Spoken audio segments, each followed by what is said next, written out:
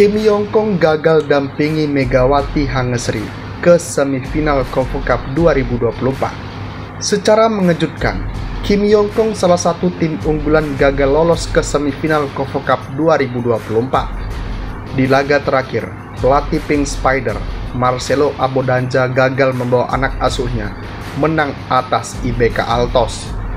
IBK Altos berhasil mengalahkan Kim Yong Kong dan kawan-kawan dengan skor 3-1, 25-18, 14-25, 25-23, dan 25-21.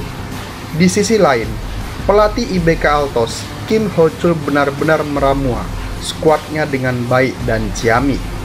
Mantan Kapten Red Spark, Le Soyong kali ini tak masuk ke dalam starting six pada laga penentuan tim IBK Altos. Posisi nomor 4 IBK Altos diisi oleh outside hitter Yuk Seoyong dan Huang Min Kyong.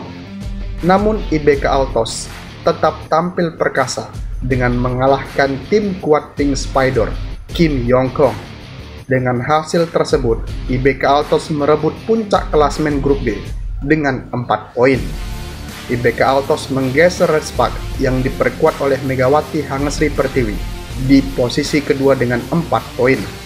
Pertandingan grup A, sementara itu, dua pertandingan terakhir grup A pada hari kelima Koko Cup 2024 telah rampung digelar.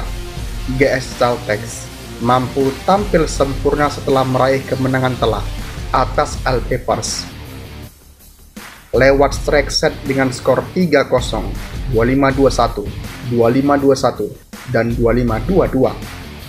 Hasil ini membuat Giselle Silva berhasil tampil gemilang karena mampu meraih tiga kemenangan beruntun di Fast Group.